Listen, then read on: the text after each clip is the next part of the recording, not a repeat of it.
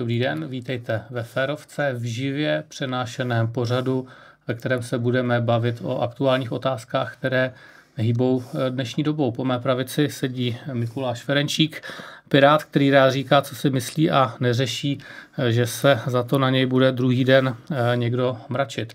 A kdo se ještě účastní dnešní debaty, eh, vítám Marka Stoniše, novináře, konzervativního komentátora, dlouholetého šéf-redaktora časopisu Reflex a dneska šéf-redaktora měsíčníku TO. Dobrý den. Dobrý den, děkuji za pozvání. A také Martina Šmarce, konzervativního politického komentátora, ale eh, ve své době také mediálního poradce Mirka Topolánka, Jana Fischera eh, či Pavla Bělobrátka a nyní působí na serveru Info.cz. Tak dobrý den. Hezký večer konzervativcům i liberálům.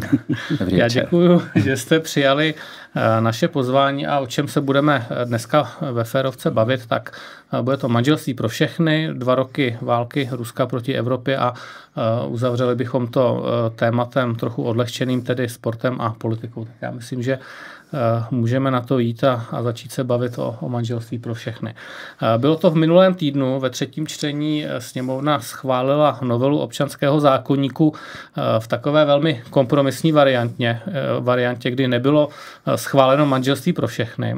A to, to taky snad téměř úplně všechny naštvalo, protože my liberálové jsme z toho odešli takový lehce kyselí, protože my jsme to chtěli a na druhou stranu cítím, že z toho je kyselá i ta druhá strana, že vlastně neubránila ten status quo. Tak já si kladu otázku, kde jsme, jaký svět vlastně bráníte? No, já si myslím, že nikdo nebrání status quo a nikdo také nebrání revoluce. Já si myslím, že každý brání své hodnoty abych eh, nějak definoval eh, tu otázku eh, tohoto zákona, tam jsou tři základní okruhy. První, a to je to, co já nejvíce vyčítám aktivistům, ale i pirátům a dalším, kteří to prosili ve sněmovně, je to, jestli současný stav porušuje něčí práva. Neporušuje. I kdyby to zůstalo tak, jak je, není právo na manželství, není právo na adopce a není právo na děti. To je první okruh otázek. Je potřeba si to říci, aby jsme neargumentovali ústavou, No, a ty práva nejsou rovná, to je celkem eh, jasné. Ne, aby jsme neargumentovali ústavu a porušování práv, to tam není. Pak je druhý okruh, a ten je, eh, to je okruh eh, určité lidské důstojnosti, určitého pocitu, možnosti se zahrát do společnosti, tolerance, solidarity. A tam já naprosto souhlasím s tím, že ten stav tak, jak byl, tak porušoval lidskou důstojnost určité skupiny lidí. Ve dvou věcech. Za prvé, že to byl speciální zákon, který nebyl součástí občanského zákonníku, ale byl někde zvlášť, což jako působí hrozně divně. Jenom aby jsme to věděli, to je historický důsledek toho, že když to LGBT aktivisté původně prosazovali, oni nic jiného nechtěli. Takže se to schválilo. Tě... No ne, jen, jen to, neřešme historii. Jen, jen to domluvím. Eh, proto tam bylo. To, že se nezměnilo, no. prostě je prostě jedna věc. E, takže tomu já rozumím. A také, že měli pocit, e, že by měl mít vůči sobě stejná práva a povinnosti, ti dospělí lidé, jako mají muž a žena v manželství. To je věc, na kterou, jak já říkám, nebylo žádné právo a žádný nárok. Na druhou stranu nebyl žádný důvod to neudělat. Když to někdo chce, proč by nemohl A všechno tohle, co v tom zákoně je. Je to v určitém zákonníku a jsou tam stejná práva a povinnosti. Partnerství a manželství úplně identické. A pak je tady třetí okruh, a to je to, co také aktivisté nepřiznávají. A to, že tak, jak byl napsán ten původní tisk 241, byl napsán velice nešťastně, protože on tím, že vlastně nerozlišoval mezi svazkem stejnopohlavním a svazkem muže a ženy, eh, tak zároveň eh, vlastně eh, novelizoval jinou hlavu občanského zákonníku, která se netýká manželství, ale která se týká adopcí. A vlastně dával, dával stejnopohlavním párům možnost přednostně adoptovat cizí děti. Od párům adoptovat, to je úplně přece v pořádku. Eh, pozor, eh, adoptovat může dneska a podle, podle té, mu, oni mohou být mohli být už předtím, eh, mohli být adoptivní rodiči. Podle té eh, úpravy, která byla přijata, tak můžou adoptovat i jako pár. Jediné, co tam je, oni nemohou adoptovat v prvním pořadí. Jsou napřed je úplná rodina, tatínek, maminka a pak jsou všichni ostatní. To znamená heterosexuální nesezdané páry. Je úplná rodina. A, Dobře, ne, no, ale... Eh, Pane ne, to, to, co, to, co můžete říct, já to, já to jen řeknu. Celé se to dělalo z jednoho prostého důvodu. Aby se chránila práva dětí, která skutečně v ústavě jsou. Takže tady byl střed nějakých zájmů, nároků, pocitů, nároků homosexuálních párů a práva dětí, které chrání ústava. A není prostě možné v této situaci říci, že práva dětí neexistují. Existují pouze nároky homosexuálů. A To víte, prostě- spousta těch dětí, co vyrůstají v těch duhových rodinách. Ty A budou- jejich práva ano. jsou dneska pošlapávána. Ne. To je ten problém přece. Ale To, to je právě o těch dětech, co vyrůstají dneska v těch ale o duhových já rodinách. Mluvím, o tom já mluvím. A pokud už to tak je, že to dítě je v takovéto rodině, tak nemělo žádnou logiku, že druhý z partnerů je nemůže adoptovat. A to právě dovysvětluje to, co jsem říkal, protože to, co prosazuje konzervativci, jsou pouze práva dětí. A ve chvíli, kdy to dítě už v této rodině žije a má, je v této domácnosti, nemělo žádnou logiku, aby nemohl adoptovat ten druhý z toho páru. No ale stejně, Proto- pro- ale stejně půlka konzervativců ve sněmovně byla proti tomuhle návrhu. Já hájím svůj názor. hájím svůj názor a můj názor je, je na, na to do polovině konzervativců. Je, je, jenom chci říct si, to, co je potřeba, aby, aby, aby jsme se jako bavili tak nějak jako férově, s tím, že je pro dítě lepší být v první fázi adoptováno úplnou rodinou, nemusíte souhlasit. A můžete argumentovat, že tatínek a tatínek je lepší než tatínek a maminka. Tomu rozumím. Nebudu souhlasit. Říkám, ale... že mají být rovná práva. Ne, ne, ne, mluvím o právě dětí. Tohle, rovná práva jsou to předtím, to je vyřešeno. Rovná práva jsou tím, že partnerství postavují na manželství. Teď se bavíme o adopcí, což je jiná občanského zákonníku. Tak a dovolte mi do toho teďka vstoupit. No. Ta otázka zněla, co bráníte? Jaký je ten svět, který bráníte? Je to jenom o těch dětech a o těch Ústavu, adopcích? ústavu. Nebo je to o Je to tom, že pouze manželství ústava. je svazek muže Brání a ženy? lidská práva. Nebo je to ta tradiční Ne, ne, společnost, kterou tady máme To co, mnoho to, co bráním, let? je to, co by se měli bránit všichni. A- Protože jak pro konzervativce, tak liberály, já věřím, že zásadní, co všichni chráníme, jsou lidská práva a svobody. Takže, Takže pokud tak- se jako ptáte, bráním základní lidská práva a svobody, tak jak jsou zapsány v listině a to je moje jediná motivace. Já nic jiného nebráním. A teda vy jste spokojený s tím výsledkem teda? Jsem spokojený. Já jo. jsem spokojený. Protože- Eh, protože chápu, vlastně- že ně, někteří konzervativci se báli, když tam bude možnost adopce tím párem, eh, jenom bych to vysvětlil, aby to, aby to diváci viděli. Eh, oni se báli, že dokud není zakázán heterosexuální materství, heterosexuální surrogátní materství, dokud není eh, zakázáno náhradní materství, že by nějak hromadně začali si, eh, začali si kupovat homosexuální páry děti. Eh, Naštěstí tahle myšlenka nezvítězila. Já si nemyslím, že v tom krátkém čase, který mezi předím do toho zákona a tím, eh, než bude přijat zákon o náhradním materství, že by se nějak hromadně prostě ty páry děti kupovaly. To znamená, já jsem rád, že tam zůstalo zůstala ta možnost adopce tím druhým z páru. Pro mě je to dobře. Jak říkám, někteří konzervativci měli tuto obavu, Tak Aliance pro rodinu proti tomu dělala brutální kampaň. Aliance pro rodinu Půl, půlka. KDU ČSL, půlka ODSky proto No, taky ale- nehlasovali a, a vlastně vlastně jenom to liberální křídlo KDU ČSL vlastně nakonec jako tohle akceptovalo jako kompromis. Dobře, ale že, eh, že to, pro ten, třeba pro ten pan Stonič to vidí eh, stejně jako... ne. všichni. Pozor, tam byl jako, jako velká většina pro, pro ten zákon, tak jak, jak byl nakonec přijat, tak tam bylo 118 hlasů z No. nějakých 160. že? A zavládlo velké zklamání. Jak to vidíte? vy? Eh, Já, já vůbec bych eh, ne, nebyl schopen říct, jako, že z toho mám nějaký kyselý pocit. Já to hlasování respektuju. eh, Jak to říkal svého času Josef Lux, dopadlo to, jak to dopadlo. Mě, eh, já, jako, já jsem kdysi napsal eh, nejkratší komentář Nazval jsem to nejkratší komentář šéf-redaktora Reflexu tehdy. Eh, Manželství je svazkem mužem a ženy. Tečka. A já si to myslím, že, že manželství je muže, svazkem muže, mužem a ženy, až to tak má zůstat. Eh, Vadí mi vlastně, vadí mi jenom jediné. Eh, Mě, mě vůbec nevadí jako partnerství a, a přežil bych i manželství vlastně. Ale mě vadí to, že když to hlasování skončí, jako skončilo hlasování o istambulské umluvě, tak to vlastně nekončí. Že vím, že to prostě bude pokračovat a že znovu se zvedne nějaká vlna a že se bude znovu diskutovat o tom, jak to manželství eh, znovu prosadit. Já si myslím, že bychom tyhle já teď nechci skončit tuto debatu. Já si myslím, že ta společnost má jiné, eh, jiné vážnější problémy, než je diskuze o manželství a manželství pro všechny nebo partnerství a tak dál, že opravdu jsme, jsme v já to chápu, tady ty, ty kulturní války jsou, jsou jako vděčné, populární, živí se na tom, uvozovkách se na tom živí spousta neziskových organizací, spousta aktivistů, ale i s obou stran, to teď ne, nemyslím vůči vám. A jako myslím si, že, že ta debata, byl bych rád, kdyby skončila.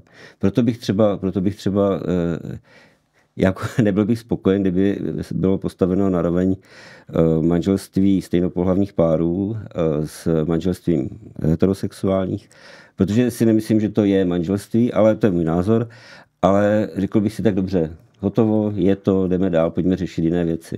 Ale já vím, že to tak nebude, díky kvůli tomu hlasování.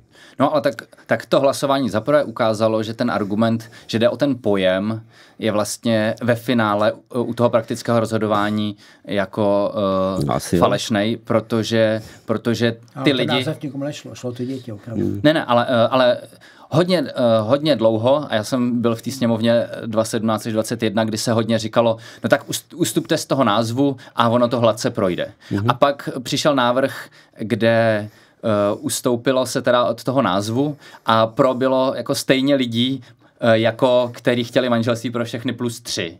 Jako byli asi tři mhm. poslanci ODS, možná ještě dva, tři lidovci, který... Ten Coganův návrh. Ten Coganův návrh. To byl ale podraz, že jo? Protože ten Coganův návrh... Pardon, já bych to taky dořekl. No, jasně. uh, takže uh, takže měli jste uh, návrh, který vlastně dělal úplně rovný práva, ale zachovával dva různé pojmy. Práva a povinnosti.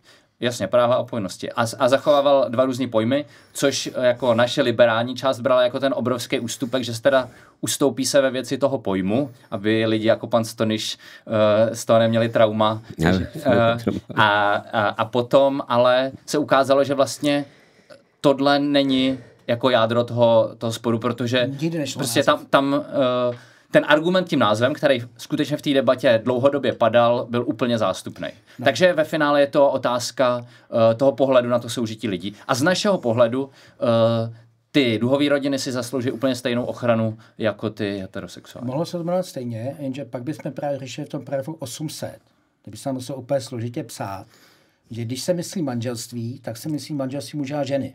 A že to neplatí pro manželství e, stejnopohlavní páru, protože nešlo ten název, šlo o to, a, e, že ten tisk 241 tím, že vlastně úplně smazal ten rozdíl a škrtnul tam muž a žena tam dvě osoby, tak vlastně suchou cestou novelizoval paragraf 803 o adopcích.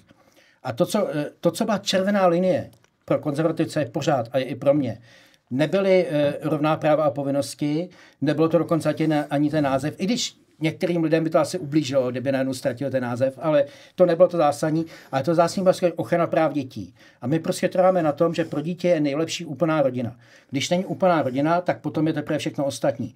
To je věc, se kterou vy nemusíte souhlasit a můžeme se hádat. Ale to já budu brát jako legitimní názor. Když prostě řeknete, že tatínek a tatínek je stejně dobrý nebo lepší než tatínek a, a maminka. To jsem se chtěl zeptat. Tomu já rozumím, ale, ale čemu já nerozumím a co já odmítám a co mi strašně vadí na té debatě, že když já mám ten názor, který podporí hromada psychologů, vy vytáhnete jiné psychologie, to není podstatný, eh, že je nejlepší ta úplná rodina, tak automaticky sem napadám mnoho liberálního novináře a aktivista, mnoho politiky, že jsem homofob. Oni mi nepřiznají tu moji motivaci. Oni mi v životě nepřiznají no, tak motivaci. si, že ten že ta homosexuální pár je horší než ten heterosexuální? Ne, Proto ne, si to ne, asi myslí. Počkej, ne, ne, ne, ne, ne, ne, vůbec. Je mi, heterosexuální homosexuální pár jsou mi úplně uzadele. Pro mě je podstatný právo dětí. A pokud já si myslím, že pro dítě to lepší, no. jakém to dítě, to je celý. A já jenom chci, aby mi uznali, že je mi úplně jedno, jestli je to homosexuální heterosexuální pár. A není mi Akorát chcete dítě. různý pravidla. No. Pane ne, šmarce. nechci různý pravidla. Znovu. Počkejte. To je přesně ten špatný pohled. Já se na to nedívám z pohledu heterosexuálního sexuála, dívám se to z pohledu toho malého dítěte, který prostě má nějaký práva. A já jenom chci, aby se mi uznalo, že když tohle co říkám, nejsem homofob a nejsem nepřítel uh, homosexuálu. Protože pozor, ta celá ta debata byla vedena o tom, když vám neumožníte v prvním pořadí adoptovat děti, tak jako muži a ženě, tak jste homofobové a porušit naše práva. Tak, no to ne. mi položit Tohle otázku. už nebudu. Budu tolerovat debatu Prosím, o tom. Tak, počkejte, ale nebudu... počkejte. Tak. Klid. A nebudu to rád dodat, že jsem homofob kvůli tomu, že chráním děti. To fakt, fakt tak, nejde, že? my vás tady z ničeho nenapadáme, žádný nálepky No, vám a Miky se nedáváme. tak tvářil, že, Počkejte, počkejte, opravovat, počkejte. ten nejde o Ale- právo homosexuálů, to jde Já- pouze o práva dětí. Tak, teďka, To se homosexuálů ani netýká. tak, To už není o nich. Dovolte mi, po, dovolte mi položit otázku. No? Jaký je tedy rozdíl mezi partnerstvím muže a muže a muže a ženy? Jaký je tam ten rozdíl? Nebo Žádný. ženy a ženy? V tom partnerství žádný rozdíl. A Může tam být, Já takže nevím, se to já může nazývat, nevím, já se- nejsem homosexuál, Nebo- tak nevím, ale pro mě, já to ani neřeším, je to úplně jedno. Celou dobu tady řešíme jednu jedinou věc. Co je nejlepší pro to dítě? A já říkám, pro to dítě je lepší být atom- adoptováno mužem a ženou. Ale pokud to dítě už žije v domácnosti s mužem a, žene, eh, mužem a mužem, nebo ženou a ženou, tak pro to dítě je sakra lepší, aby ten druhý partner mohl adoptovat, protože tomu dítě nějak nepomůžu, když mu zakážu. A to byl ten starý stav. A já jsem rád, že to prošlo. Aspoň, aspoň tohle uznáte, to je dobrý. Jak aspoň? To je to, Ale uh, prostě z našeho pohledu uh, Ano, no. není důvod dělat mezi těma způsobama soužití prostě rozdíl před tím zákonem. A Neděláme. myslíme si, že myslíme si, že prostě ten svět je složitější a svět se vyvíjí a že prostě lepší jsou děti v libovolných rodinách než v ústavech. A proto my prostě si myslíme, že, je, že je lepší ty adopce prostě dát na rovinu pro obě ty skupiny. Ale to přece- Myslím si, že je to pro ty děti lepší. A to je důvod, tam proč je jiný jsme za to problém. bojovali. Eh, že? Oni si, oni si stěžovali, že na ně ty děti nezbydou, protože samozřejmě je daleko víc heterosexuálních párů úplných, který žádají o ty děti, než je volný dětí. Takže oni naopak psali, a vy nám Ale- dáte ty horší, Ale vy mluvíte zbydou. o lidech. Vy mluvíte o lidech, nemluvíte Ne, jako... já mluvím o dětech. Jo, ale, Ale- a teď, ale ale ta možnost jako- je, kdy, když to dítě není adoptováno maminkou a tatínkem, tak může být adoptováno kýmkoliv jiným. Takže to dítě nezůstane v ústavu. Pokud, je, pokud existuje jakýkoliv zájem o to dítě, tak bude adoptováno. To znamená, to dítě Jo, je ale, ale Nestane prostě se jsou, skončenou ulici. jsou různý To páry prostě a je mnohem lepší, mnohem lepší vlastně posuzovat individuálně ty páry. A ať dělá se, soud. Uh, no přesně, a, ale nemá dopředu někoho diskriminovat. A o tom se bavíme. Ale někoho nemá, dopředu nemá. Znova. Některý páry podle vašeho Paragraf názoru 800 diskriminuje. Prostě Ne. některý řeknou, jsou až druhý v pořadí, protože Niky, my jsme řekli, Niky, že ale Proč nejsou. mluvíš o těch párech? O ně tady nejde. Není právo na adopci, baví se o právě dětí. Bavíme se o lidech. Nemá, ne, A bavíme nemá, se o eh, dětech. Ani manžel nemají je právo nejlepší, adoptovat. proto jsem ani jedinec nemá právo adoptovat. eh, no. ani homosexuál, nemá- nikdo nemá právo adoptovat. Právo má pouze to dítě. Takže já mám to dítě a o to dítě někdo žádá. Takže mám tam nějaký pořadí. První vemu v pořadí úplný rodiny. To je naprosto logický. No a Další úplná pořad rodina ale může být přece homosexuální. A to je Ne, ten spor. No to právě není, ale ne, nicméně dobře, Tak, může to být spor, a nemůžeš mi tvrdit, že já, já si tady. Aha, já jsem myslel, že mi jo. My se známe ze sněhovny a já panu Šmarcovi vykám jménem, on mi Aha. tyká, já jsem si v Dobře, pohodě. v pohodě, tak to bereme. Ale Mikuláši teda, jak to je? Eh, Je to jednoduchý. My si myslíme, že soud má posoudit, kdo, eh, jaká, co bude nejlepší pro to dítě a nemá být dopředu určený zákonem, že nějaká varianta je horší a nějaká je lepší. Pan Šmart říká, zákon má říct, že tahle varianta maminka, tatínek různého pohlaví je lepší a ta jiná varianta je horší a ten soud nemá ani možnost porovnat individuální situaci a podle toho umožnit tu adopci. A to podle mě je špatně. Eh, Ne, to je názor, který byl jako legitimní, jenom s tím nesouhlasím. No, tak- Ale to, co nebylo jako legitimní, že je můj názor automaticky brát jako nelegitimní a diskriminační, když já tvrdím, že to pro dítě lepší. Já dokážu, jako, eh, můžeme se pak, když se budeme bavit takto... Tak můžeme se shodneme na tom, že chcem to to- nejlepší pro děti. Ale, To ale nějaké eh, jako- to, co já opravdu neberu a co mi vadí a co budu kritizovat vždycky, že když někdo vychází ze současných psychologických průzkumů a tvrdí, že je to pro dítě lepší, tak je automaticky homofob. To tak prostě není. A, a druhá věc, znova, Toto už se nepraví, ne, nebavíme o soužití dvou lidí, ani o právech a povinnostech dvou, těch dvou lidí. Teď se bavíme o dětech. To je úplně jiná rovina, jak ústavně právní, tak i jiná hlava občanského zákonníku. A já jenom chci, aby se odlišilo. To, co se týká práv a povinností, jsou identická.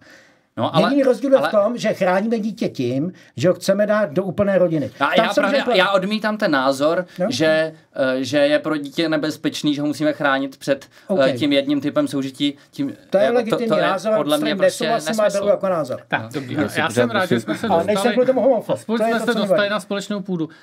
Um, já jsem to, já mám jenom, jak říkám, já bych byl rád, kdyby ta debata, teď nemyslím tady tato, jo, Eh, skončila a řešili bychom jako společnost jiné věci, ale... A proč to tu společnost tak rozděluje? Proč se o to hádáme? To se ptejte jinde než mě, já nevím. Já, jako, já jsem to nevyvolal. Tady pan Šmart říká, že je označován za homofoba. A tak to já taky, že? Zase lidé, kteří eh, prosazují manželství pro všechny, já nevím, Nevíte, si co, já si... že jsme homosexualisté, tak... To já bych neřekl, ale... Proč se tak ale, ale, no tak to je úplně standardní metoda veřejné diskuze u nás dneska. No. Jako ty nálepky to lítá z obou stran, já jich mám na sobě taky dost, ale eh, já mám pocit, že to, co říkal Martin v jedné věci, je důležité, to jsou ty děti, to já taky jako vnímám. Já to pořád, já to nevím, eh, ale mám pocit, jako že eh, homosexuální rodina a, a vlastně mateřství nebo otcovství nebo jako rodina jako taková s dětmi, že to je jakoby pořád z hlediska historie lidstva je to experiment. Jo, jako, a my jsme třeba na začátku nějakého Vím, vím, že se mnou asi nebudete souhlasit tím slovem experiment, ale zkušenosti dětí, které vyrostly v rodinách stejnopohlavních, jsou asi jiné, než, než když vyrůstá s matkou a s otcem. Každý matka, matka a otec má každý nějakou roli. Jo, to nemůžete spochybnit. Žena, žena k tomu dítěti přistupuje jinak než otec, každý má nějakou svoji roli a to dítě to formuje. Když je to stejnopohlavní, rodina, tak eh, to tam chybí. A, to, ale tam jsou přece taky role v té ale jsou, samozřejmě, já to nespochybnuju. Eh, já neříkám, jo. Eh, pozor, já neříkám horší nebo lepší, já jen říkám, že to nemáme vyzkoušené historicky. A některé společnosti jsou dál.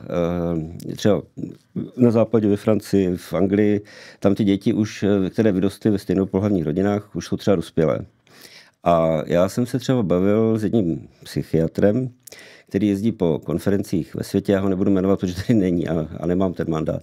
A on říkal, že v, když se baví s psychiatry v, Británii, ve Francii a tak dál, tak oni tvrdí, že je statisticky dokázáno, že ty děti, které vyrostly ve stejnopohlavních rodinách, že mají větší problémy psychické. Eh, já nevím. Eh, jo, je, tam možná, je, to, je to možná eh, tím opravdu, že tam, že tam jsou dvě, dvě mužské je podstatná část adoptovaná, tak je to celkem uh, No jasně. Je, je možná lepší, že mají, je, je, možná, je možné to, že mají menší psychické problémy, než kdyby vyrůstali v ústavech nebo na ulici. Já nevím, opravdu nevím. Já jenom říkám, že to je křehká věc, že jsme na, v, v, z hlediska historie, že to je opravdu krátká doba, a trošku mi to přijde jako experiment. Nicméně, nicméně, pardon, uh, nicméně, nicméně se může ukázat, že nemám pravdu, uh, že ty děti, které vyrůstají ve stejnopohlavních rodinách, budou stejně stej, mít stejné, stejně šťastné dětství a budou mít stejnou péči. Samozřejmě v heterosexuálních rodinách jsou taky problémy, to jako nikdo nespochybní a tak dále. Takže může se to ukázat. Já jenom, mi se to zdá jako velké riziko, Eh, myslím si, že, ale pozor, znám, znám rodiny, eh, které mají stejnopohlavní, které mají děti, které eh, vyrůstají ty děti u nich a mám je rád a jsou jako na první pohled jsou šťastné. Jo, to jako vůbec bych jako jim nebránil mít děti doma, jo, pro boha. Můžou dvě no. ženy nebo dva muži tvořit plnohodnotnou rodinu? Já nevím. Já si myslím, že to rodina není.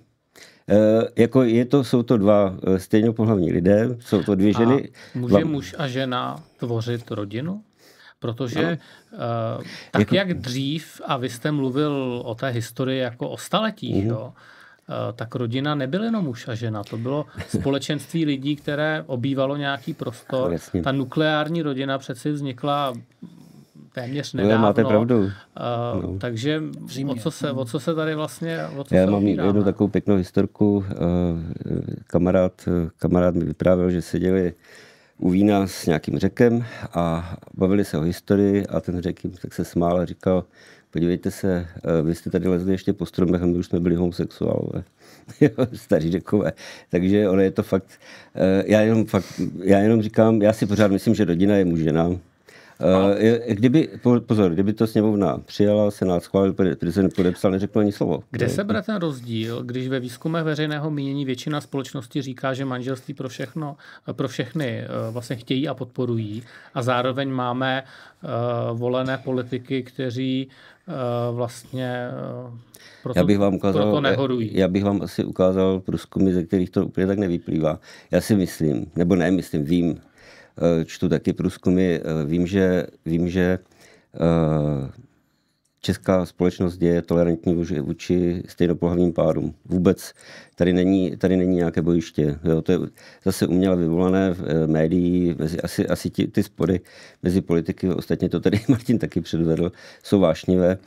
Může to tak vypadat, ale, ale e, vím, já, já jsem konzervativec, ale mě, mě homosexuál přece vůbec nemůže vadit. Jo, vůbec mi to nemůže vadit. Hlavně, jak, jak může vadit manželství. Ale pozor, pozor, to je jiná věc. Martin, teď počkej, počkej, když vybuchneš. ne, ne, nebudeme, nebudeme už vybuchovat, já, já bych debatu držel. Ne, ne, jako já prostě, já mě nemůže nikdo přesvědčit, ale ani z toho zákonu mě nepřesvědčí, že rodina je muž, žena a, a, a dítě a plodit může muž s ženou. Opravdu ne, jo. To, je, to je pro mě rodina.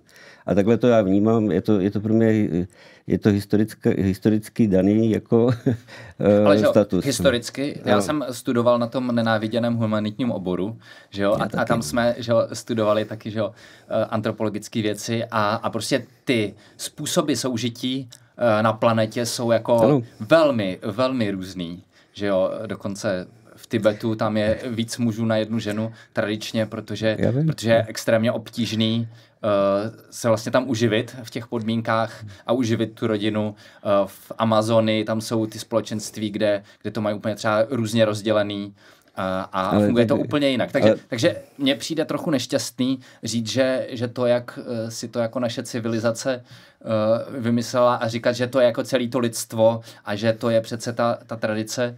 Uh, samozřejmě v tomhle, já, já jsem osobně vlastně velmi konzervativní člověk hmm. uh, v no, vlastně, přístupu k životu, byť jsem liberální hmm. názorama a, a sám to, to mě bavilo, jak kvůli tomu, že jsem prosazoval uh, narovnání eh, nebo zlepšení podmínek pro lidi, co žijou v těch eh, vícečetných svazcích. Přestože se mě to osobně mhm. vůbec netýká, tak jsem byl okamžitě nalepkovaný. To jsem to zažil z druhé strany já. Ale, ale ale prostě lidi jsou složitý, já jsem dokonce v církvi, co je ochotná ty uh, manželství mm. stejnou pohlavní oddávat, aspoň z části podstatný. A, a já si myslím, že stát do tohohle vlastně nemá Podívejte, já, jako když se bavíme o dětech, já nevím, jestli ještě chcete tu debatu dál uh, prodlužovat, ale když se bavíme o dětech, eh, to že, to, že některé děti končí uh, v ústavech a následně v rodinách, jestli stejnopohlavních nebo, nebo uh, heterosexuálních, tak je to prostě, já to považuji za neštěstí, a, je to, a to, že, to, že se o ně někdo chce postarat, je to, to, to je nějaká humanita, nebo nechci říct charita, ale je to prostě lidství. Jo, jakože prostě člověk, člověk, když se dívá na dítě, které je samo, někde v nějakém ústavu má, je jich tam 50 na jednu maminku v vozovkách, tak, tak každý to nemůže nechat nikoho chladného, tak prostě se chce postarat, když může. Jo, jako není to povinnost, ale tak si myslím, že to je přirozené. A nepovažuji za přirozené založení rodiny to, že dva stejnopohlavní páry, které nemohou mít děti, tak si objednají, objednají uh, porod u náhradní eh, matky a to dítě si vezmou a tváří se, že to je rodina. To, to mi nepřijde přirozené. Jo, jako, ale adopt... děje se to. A co pak děje se to, ale s těma mě... lidma dělat? No, to jasně, i, to i Martin dítě... uznal, že vlastně z hlediska těch dětí je rozumný, že ten stát to akceptuje. To dítě za to ale nemůže, samozřejmě. Ale, ale přece dítě je rád, že je na světě. No, jasně. Dobře, ale vy znáte ten případ eh, nějakého toho českého podnikatele, který v Americe se svým partnerem si v uvozovkách koupili dítě a sám, říkal, sám říkal ten, ten podnikatel, že ani nechtěl poznat tu matku, že si prostě jenom to chtěli to dítě, aby ho donosila a je, je to fakt, ne, jako není to, není to přirozené a není to, není, není, nemyslím si, že to je humánní. Co se stane v Senátu? Nevím, tam jsou, tam jsou, tam možná bude větší problém, než to vypadá, protože jako v, v, v ODS jsou, eh, jsou lidé, kteří s tím nesouhlasí. Já e, musím říct, že mě hlavně strašně mrzí, proč vlastně to někteří lidé berou jako prohru a katastrofu, že když jsem mluvil o manželství pro všechny, sněmovna doslova schválila manželství pro všechny. Ta ne pro všechny, ale pro homosexuální, heterosexuální páry.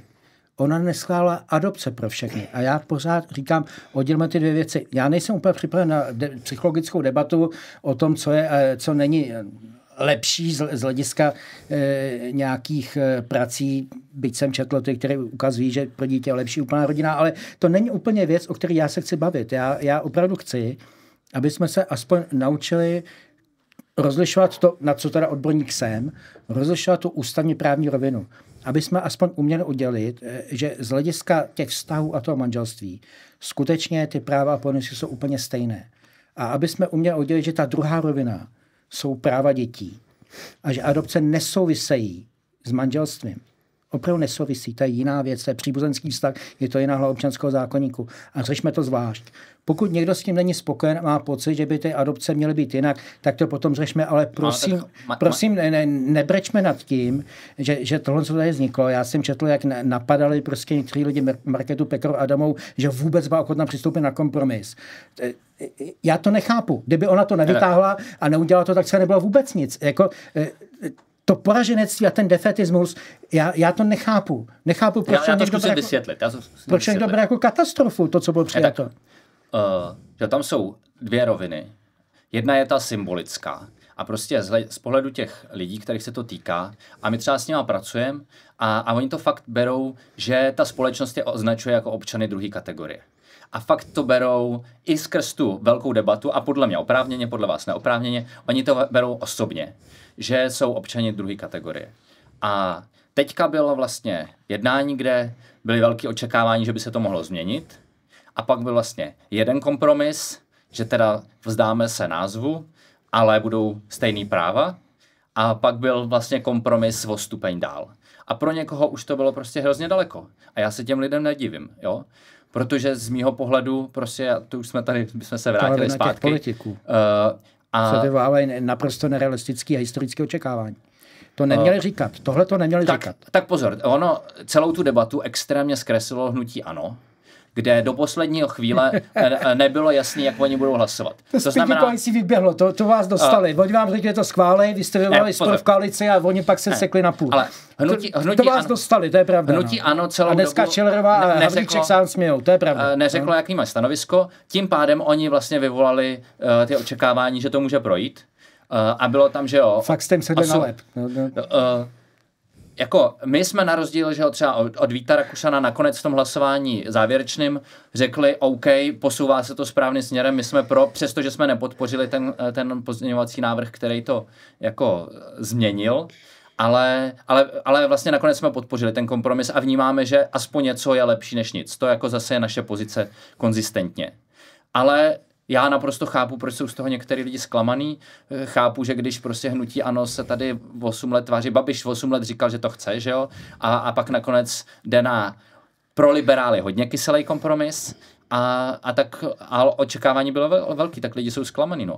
A, a plus, ještě, kompromis. plus ještě jsou lidi, kteří jako 100% vítězství liberálů. volili spolu a, a teďka jim přijde, že Co vlastně prohráli? To mě by to zajímalo. Jako, jako, Tak ale já, já tam nevidím 100% žádnou prohru. 100% vítězství liberálů by bylo manželství pro všechny, tečka. To tam je. To dneska není. Tak Není to pojmenuje manželství, tam ale, název ale pak a- a... se v paragrafu 800 jako odlišovat manželství e, heterosexuální, homosexuální a bude to ještě trapnější. Jo. Mně to nevadí sobenou manželství. a znova, tak jsou jiný názory ale ty na to. děti musíme chránit. Musíme chránit ty děti. A to je už je No jiná a- hlava a už to není manželství. A to já prostě nemůžu souhlasit s tou tezí, že musíme chránit děti před Tak, ale to homosexuálními mě nazvat- páry, protože tak a to je mě možná ten důvod. pro všechny. Možná ta, zmátli lidi, říkají manžel, manželství pro všechny je. možná Není, tahle nejsou rétorika, tahle rétorika způsobuje, že vám pak lidi říkají, že jste homofob, protože Jaká retorika? že říkáte, že vlastně chráníte ty děti před Ano, těmi homosexuálními páry. Tak si Ne pak před homosexuálními no, Ale páry. působí to tak. Teď já chráníme i před jednotlivce heterosexuály, nebo před neseznámými. Znova, ten paragraf, Jo. aby to lidi No. věděli, je napsaný tak, že napřed adoptuje Já- já vám rodina, rozumím, co říkáte. A pak A my říkáme, ať to posu- bez ohledu na orientaci. A Ať to, posuzuje, ať to posuzuje soud a není tam diskriminace. To bude posuzovat soud. Tak a ta Ale otázka já zněla, Já přece- otázka, jestli zněla, pardon. jak, to No. bylo, jak, to, jak to bude v tom Senátu Eh, teda? Já si myslím, jestli můžu teda. eh, Já si myslím, jako asi všichni cítíme, že Senát je složený trošku jinak, eh, že tam Není tam hnutí ano, takže tam aspoň eh, lidi tam jsou ochotní jít z kůží na trh. Ale, ale tak když jste, když, jste, když jste viděl tu debatu, nebo jak dopadlo eh, Istanbulská umluva nebo smlouva, já si myslím, že, já si myslím, že se na to vrátí, že ten, ten zákon a sněmovna to potvrdí a, a, a prezident podepíše, tak to je prostě... To já, já si paradoxně myslím, že Že jestli jo. to Senát vrátí, tak ve variantě Cogan. Že varianta navrátil, že buď projde, To nebo asi, to... eh, nevím, jak vaši... navrátil, jenom No, ale když to ale jak nemůže, to navrátil, lidi- prošel, to musel to nějakým jiným. To lidi ne, že, asi- že pokud, já si, já si paradoxně myslím, že Senát v této věci, pokud, pokud uh, neřekne schválem kompromis, jak to je, hmm. tak, tak naopak bude uh, ochotný jít dál. A Uvidíme. schválí to ve variantě uh, různý název s- s- rovná práva. Uh, a nebo to schválí tak, jak to Já vám, jenom, běží. já vám nechci, Já jenom nesnáším to práva, pozor. Pardon, tak to jsou práva dětí, já vám nechci kecat do toho, nechci mluvit do moderace, ale myslím si, že většina posluchačů nebude vědět, No, co no, to je, co vysvětleme, navrátil. co co- Jo, takže Cogan vari- navrátil. varianta uh, Cogan to znamená různé názvy, stejná práva rodičů. Uh, Žádná práva dětí. Uh, tak to interpretujete vy, já to Ano, interpretuji tak to jinak. interpretuji. A uh, varianta navrátil, to znamená uh, sněmovní pro liberály kyselý kompromis, který konzervativci označují za liberální vítězství. Uh, to znamená Je to vítězství. Uh, složité, uh, nebo je tam možnost při osvojení v té rodině, to znamená zlepšení podmínek pro duhové rodiny, co teďka aktuálně vychovávají společně dítě, tak pro toho druhého rodiče i pro to dítě to jako značně zjednoduší praktický život. Pro to dítě. To je důležitý. Jo. No, A, rodič eh, mě tak nezajímá jako to dítě. Jasně. Ale uh, já jsem myslel třeba věci jako třídní schůzky a takové věci, nebo návštěva Hmm. lékaře a podobný, uh, což podle mě snad... Jsem rád vlastně, že máme schodu, že tohle jsou Ano. fajn věci, že se, že se udělali.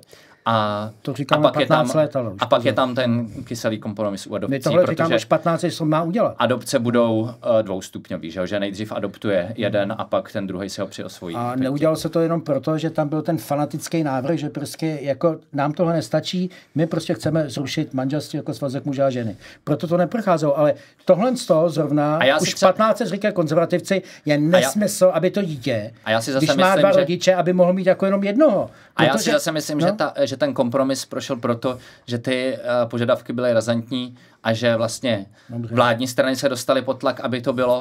A, uh, a tím pádem uh, já si nemyslím, že, že razantní požadavky jako zhoršují šanci na to, že projde nějaký kompromis. Dobře, já jsem s výsledkem spokojen a hlavně nechápu ten pocit poraženectví. Jediný, co tam neprošlo, jsou ty adopce. To je v podstatě jediný. A kdyby se jmenovalo i stejně, no tak A pro nějaký lidi je prostě důležitý uh, ta symbolická rovina.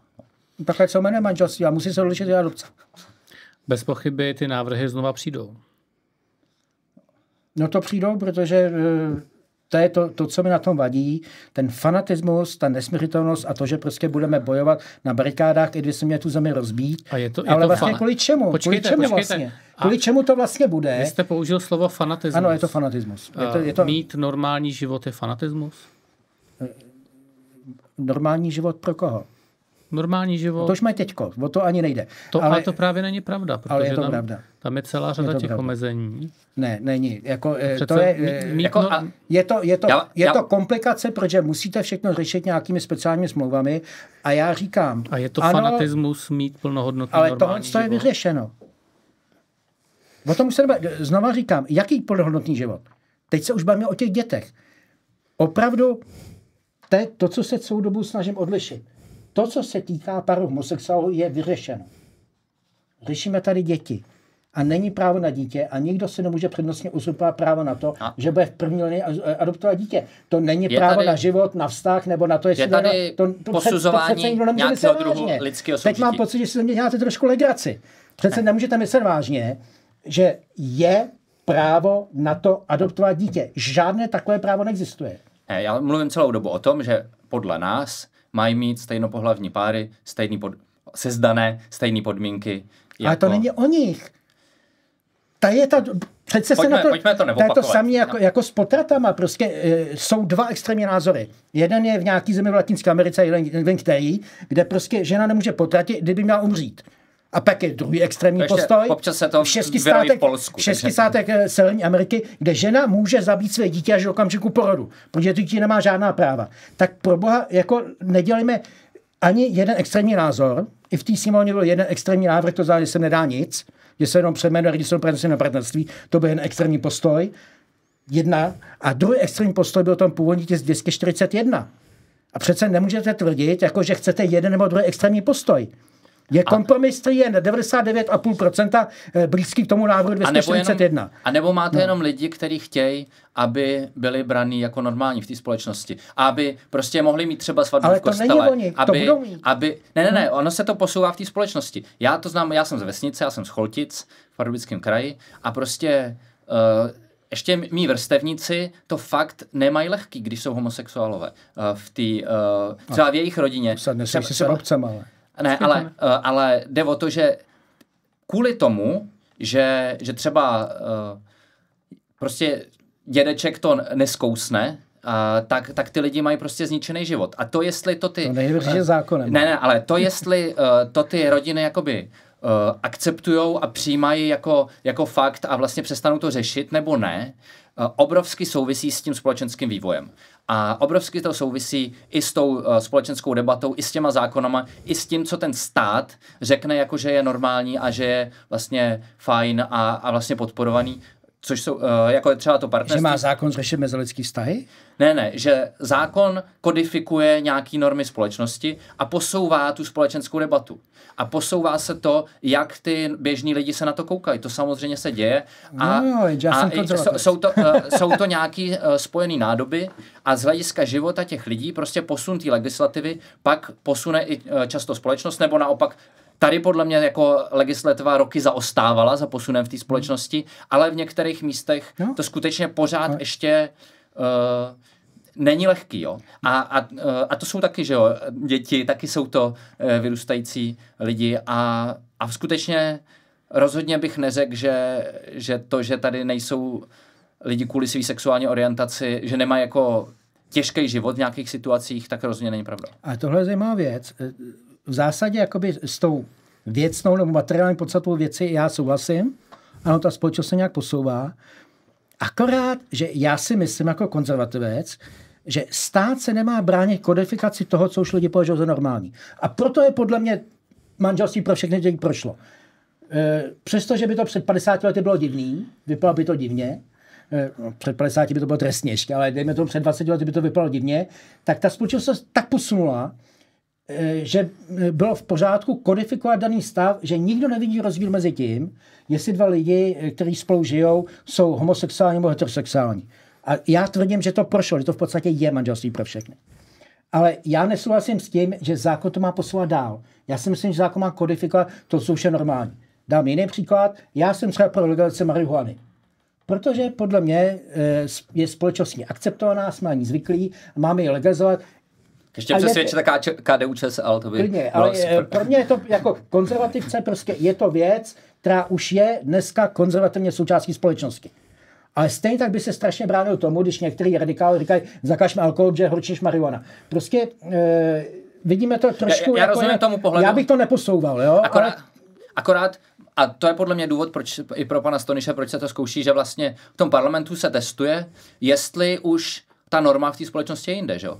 A, a že jo, často je to na těsno ty hlasování a, a potom, že jo, v Británii zavedli manželství pro všechny konzervativci. Ostatně v Řecku teďka taky. Prostě, uh, prostě protože manželství je konzervativní hodnota. V tom případě nejsou konzervativci. A, a, dokonce, a dokonce dneska... Nejsou to Češi. Je to jednoduché. Možná. Dokonce David Cameron to považuje Říkám, za svůj významný ne, politický není, úspěch. Není a i, i část té strany, co tehdy hlasovalo proti, dneska říká, eh, že to byla chyba, hmm. že, že vlastně nebyl žádný důvod. A jsou věci, kde se vlastně to v tom parlamentu jakoby překulí a potom ta společnost vlastně zjistí, že se nic nestalo. Jo, a podle mě tohle je tenhle případ a podle mě až, no, až se to stane za pár let, tak Protože... tak všichni se budou divit, proč se o to vedla taková debata. A to je možná odpověď na tu otázku, kterou já jsem tady kladl a, a mířil jsem k tomu, kdy tu debatu zase budeme uh, vést znova. Já myslím, že jsme téma už uh, trošku vyčerpali, že jsme uh, tu otázku probrali poměrně, uh, poměrně do detailu. Um, a uh, možná pokud válka na Ukrajině nedopadne v náš prospěch, tak celá tato debata bude zbytečná, protože nám tu normu uh, vnutí, uh, vnutí Rusko, které vede, vede válku proti Evropě. V jaké fázi teda válka na Ukrajině je? V jaké fázi je naše společnost při přemýšlení o válce na Ukrajině? Moje názory jsou na to eh, poměrně jasné a je pravidelně, pravidelně říkám. A jak ta válka má skončit? No, eh, já jsem docela smutný z toho, že ta válka pokračuje tak, jak jsem psal vlastně na jejím začátku, nebo těsně po jejím začátku, když bylo jisté, aspoň to, že se Ukrajina ubrání. A e, já jsem tehdy napsal, že je e, v zájmu západu celosvěta, e, aby ve velice krátké době několika měsíců dodal zbraně. Já jsem tedy použil, použil cifru 100 miliard dolarů. Možná, že od té doby jsme dodali během dvou let. Protože jak se říká, kdo rychle dává, dvakrát dává a kdyby jsme ty zbraně dodali hned, zkrátíme utrpení, zkrátíme počet obětí, zkrátíme e, i dobu, kdy to ničí naše ekonomiky a globální ekonomiku. Prostě e, jsou věci, které je potřeba řešit hned. To se nestalo, dva roky to pokračuje, my za pámu dodáme aspoň tolik zbraní, aby Ukrajina neprohrála. Nicméně nedodáme dost zbraní na to, aby Ukrajina vyhrála. Takže já se obávám, že pokud to bude takto pokračovat, tak uh, potom pragmatici typu Roberta Fica, který říká, za dva roky budeme ve stejné situaci, bude to vypadat, to vypadat a vy budete stejně jednat o míru, protože to nikam nepovede, tak v té chvíli oni budou mít pravdu. Protože pokud eh, Západ radikálně nezmění svůj přístup, a ono se to ani netýká financí. Já si myslím, že možná bychom i přesvědčili ty západní vlády, že o to 1% HDP třeba přidají. Ono by to úplně stačilo ale spíš si myslím, že tam v tom pocitu a já, já se prostě bojím, ale já nemám teďka, eh, tak jako vy, ne, nemám ten e, přísun těm e, za, e, informacím z toho znamení, takže nevím, takže hádám. E, moje informace jsou 15 let staré, ale já se obávám, že prostě tam je možná určitý strach zemí, jako je Německo, jako je USA z toho, že kdyby Ukrajina nějak radikálně začala vyhrávat, Eh, takže by tím vlastně Rusko naštvalo, Rusko by dělalo nějaké věci, které my nechceme a že vlastně ta konzervace lepší toho, ano, v tomto případě konzervativní není správně, eh, Rusko by začalo nějakým způsobem střečkovat a oni radši to nechají takto, než aby nějakým způsobem eh, to Rusko dráždilo. Já mám na to něco úplně jiný názor, protože já říkám, pokud máte někoho jako nacistické Německo nebo putinovské Rusko, ono udělá vždycky to nejhorší, co může. A pokud to neudělá, tak jenom proto, že mu to nedovolíme. Neexistuje žádný způsob, abyste rozdráželi lidi jako Hitler nebo Putin. Neexistuje. Oni stejně dělají to, co chtějí a naopak, pokud něco neudělají, tak jenom proto jsou zbabilce, že ustoupí. Takže já nevěřím tomu, že tahle ten vlastně, on to není úplně epísment, ale na půlku ano. My se vlastně snažíme, aby Ukrajina neměla zbraně, které může zasáhnout Rusko. A já tvrdím, dejme jim zbraně, které může zasáhnout Rusko a velice citelně. Protože e, tvrdit, že e, Rusko použije jaderné zbraně, a my to tady neuděláme, v, tom je logický nesmysl. Pokud si myslíme, že Putin je takový magor, že použije jaderné zbraně, použije stejně. Neexistuje žádný způsob, jak mu v tom zabránit. Pokud je takový idiot a pokud Rusko je tak teď jsem dělal, no, na to řeknu, je tak skurvený stát, že mu to dovolí, tak stejně nemáme jinou možnost, jak mu v tom zabránit, než ho porazit. Představa, že to použije teprve ve chvíli, kdy bude prohrávat, aby to nepoužil, podle mě, já jsem studoval matfis, prostě odporuje výrokové logice a matematické logice. Jeho zastaví pouze totální porážka. Nic ho nezastaví. Na mezinárodní, na mezinárodní vztahy se dá dívat touhle logiku. Jak to vidíte vy? tak je to uh, dva roky konfliktu, který pokud je člověk soudný, tak si ho nepřeje. To je jako jednoznačný. Uh, já si myslím, že je třeba se podívat uh, zpátky, ty dva roky. Já, já vím, že jste na začátku řekl, neřešme minulost, ale v tomhle případě to je asi je možná i dál než, než dva roky, ale do roku 2014, 2015. A říct si teda, kdo je tím hlavním hráčem za mě, za mě já si tady nechci hrát na geopolitického experta, nicméně je zjevné, že, že ten spor je hlavně mezi Spojenými státy a, a Ruskem, že Spojené státy opravdu mají, mají zájem na to, aby oslabili Rusko a ptejme se, jestli se jim to povedlo. Za ty dva roky toho konfliktu eh, Rusko nevypadá oslabeně. Eh, naopak, naopak Evropa se zmítá v tom, eh, a my jsme, my jsme hlavní oběti Evropa, ne Spojené státy, se zmítáme v tom, jak v tom přístupu v Ukrajině, já to vidím, já to vidím, já, já, to, já to sleduju hlavně ve svém okolí nebo v české společnosti. A je to, je to velmi nešťastné, protože znova, znova se nedá úplně, nedá se úplně racionálně v klidu eh, mluvit o, o, o tom konfliktu na Ukrajině, aniž by člověk, který má trošku jiný názor, ale ale může mít stejný cíl, ale jiný, jiný, třeba si myslí, že ty prostředky by měly být jiné, tak je okamžitě označen za ruského švába, agenta, Putinova a, a tak podobně. Jo. Tak eh, pro mě je to velmi obtížné. Já, já Máte bych... pocit, že jste označován za ruského no, švába? samozřejmě, ale já už jsem... A, a pro jaké názory? Ale já jsem označován už už protože jsem si třeba myslel, že, že uzavírání okresu v době covidu je blbost, jo, tak, tak v tu chvíli jsem byl označen za, za Putinova agenta. Takhle, takhle ta společnost, nebo ta debata společenská je. Eh, když, když zveřejníte něco, eh, u nás, u nás v Čechách eh, se to moc neděje, když zveřejníte některé zahraničně politické analýzy, ale vlastně už jste se teď vrátil z Indie, my občas přetiskujeme z indického tisku, z Asie nebo i ze Spojených států, tak eh, to, kdybyste udělal tady, tak v tu chvíli, tak v tu chvíli už na vás zaklekne téměř ministerstvo vnitra a kryt. Jo. To je, eh, ta debata je složitá. Já, si, jako, já pořád eh, si myslím, že, že, že ta strategie vůči Rusku je špatná. Protože výsledek mluví za vše. A jaká by měla být? No buď, jak říká Martin, buď tvrdší, porazit nebo dohodnout. A, a nebo se dohodnout. Ale ten, ten, tento stav, kdy, kdy udržujeme nějakou frontu a kdy to je, nechci říct komické, v téhle, téhle chvíli se to, to slovo se nehodí, ale kdy, kdy čteme zprávy o tom, že se ta fronta hýbe o několik set metrů nebo kilometrů, jde o vesnice, to je eh, udržovací válka, která jakoby nikam nevede. Eh, zavedli jsme sankce jako Evropa, vlastně svět vůči Rusku a Rusko, Rusko veselé obchoduje dál, k nám proudí plyn. Nedaří se, to, nedaří se ty eh, původní záměry, které vypadaly jako, že Putin se lekne, stáhne, nestáhl, nelekl a, a vlastně já nevím, do jaké míry, no vlastně by nám to mohl říct Martin, protože, pardon, jo. já jenom doplním no, no, to no, větu, protože, protože Mirek Topolánek se sešel s Putinem, jestli má smysl pro humor nebo ne, tak se nám směje, že jo, to je prostě, no. tak to je. No, hlavně Mirek Topolánek v roce 2008 říkal, že již oběteme druzy, další na řadě je Krym a pobaltské státy, což tehdy Němci nechtěli slyšet například. Mikuláši, ty jsi dlouho platil za, za velkého pacifistu. Uh, ale dneska mluvíš úplně jinak. Co se odehrálo, když, když, no. když vyzýváš, aby jsme posílali zbraně na Ukrajinu? Jako pro mě vlastně ten uh, Putinův přepad ty Ukrajiny bylo jako zahranou toho, co já jsem očekával, že v dnešním světě je jako možný.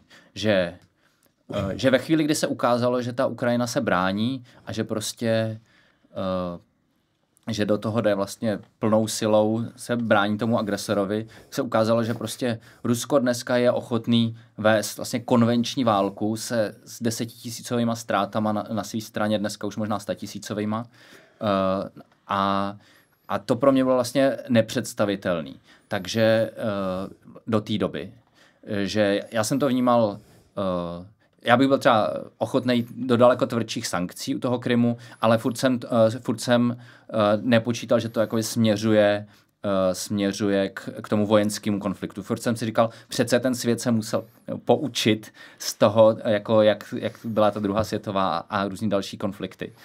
Myslel jsem si, že už jsme jako společnost dál a, a tady prostě Putin mě brutálně jako otevřel oči, že prostě když tanky jsou ta nejefektivnější cesta, tak on použije tanky a, a takže v tomhle jsem byl jako vyléčen z naivity a e, to znamená, že prostě nezbývá nic jiného, než mít dost silnou armádu, aby tohle nemohl udělat. A tady vlastně souhlasím s Martinem Šmarcem, že já bych šel cestou prostě Regana, jako v tomhle, že Evropská unie přece má zdroje na to, aby uzbrojila Putina. Jo? Že, že prostě uh, on dává teďka, nevím, 40% ekonomiky nebo nějaký, nějaký takovýhle číslo svého rozpočtu dává do té války a, a my, kdybychom dokázali dát jako 2%, uh, eh, tak máme větší zdroje než on, že to je ekonomika na úrovni Itálie v zásadě, uh, Rusko. Jo, a, a prostě myslím si, že jako vyhrát proti tomu diktátorovi by ve finále vyšlo levnějc. Uh, i, I to jako morálně správný postoj, a prostě umožnit těm Ukrajincům vyhrát je podle mě jediný správný řešení. Je i ale, uh, a, a souhlasím s tím, že, si, že je vlastně i pragmatičtější, než aby jsme to dostalo do, do fáze prostě zamrzlého konfliktu, kde, uh, kde potom uh,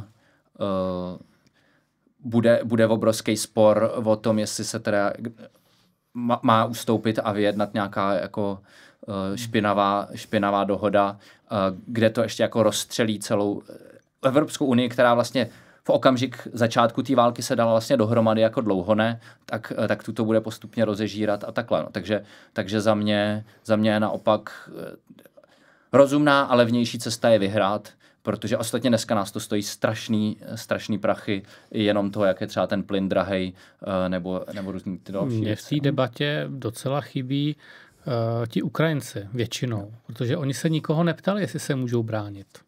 Oni se brání proti té ruské imperiální invazi bez toho, aniž by to chodili konzultovat na západ, jestli můžou. A my se tady o tom bavíme, uh, poslat zbraně nebo nějak domluvit, jako kdyby to bylo o nich bez nich. A mně přijde, že ta zkušenost z roku 38, kdy v rámci epizmentu bylo obětována československá státnost, a, a víme, že to vedlo k celé druhé světové válce, by měla být jasným poučením, že prostě uh, potřebujeme držet eh, toho Rusa co nejdál. Tak jako jak, jak můžeme vůbec teda vést tu debatu, Já, buď poslat zbraně nebo dohodnout? Že, no, ale... že mě, mě překvapilo vlastně, jak špatné informace měly i naše, ale i západní uh, tajné služby a další ohledně té vlastně schopnosti Ukrajiny se bránit. Že, uh, že ještě vlastně docela dlouho na začátku té války Eh, to brali jako otázku času, poměrně vlastně vlivný, eh, vlivný lidi z tajných služeb typicky spíš teda... Eh, to se odehrálo, to, to překvapilo asi každýho. A, a, a myslím si, že že prostě jsme měli jako razantně, tady máme vlastně schodu, že patříme na západ a že se mělo přepnout prostě do toho vítězného módu. Pozor, to do, dohodnout se ne, nebo, eh, nebo vyhrát, to, to, ono to vychází z teorie spravedlivé války, že to je spravedlivá válka, ale ta, tam není spravedlivá příčina, ale taky vyhratelnost té války. Ta válka je spravedlivá ve chvíli, jako když jste ochotní vést takovou silou, že v dohledné době vyhrajete.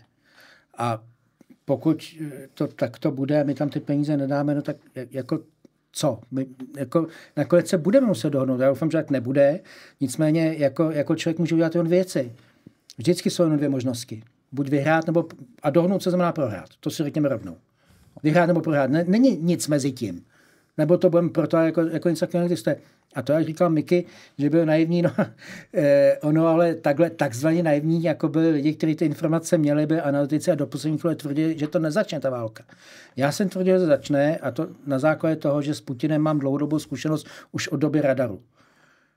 A tenkrát jsem byl šokován, ano, tenkrát jsem byl naivní, protože já jsem naprosto nechápal, co tomu člověku sakra kurva vadí na tom, že my si postavíme nějaký radar. A proč to dělá takový cambus a platí tady paroubky a různý další jako organizace a cpe sem svý To byla první eh, hybridní válka, kdy jsem spali ruský peníze přes ambasádu a e, organizovali ty protesty. To byly první protesty organizovali ruský peníze, to je potvrzení tady službama.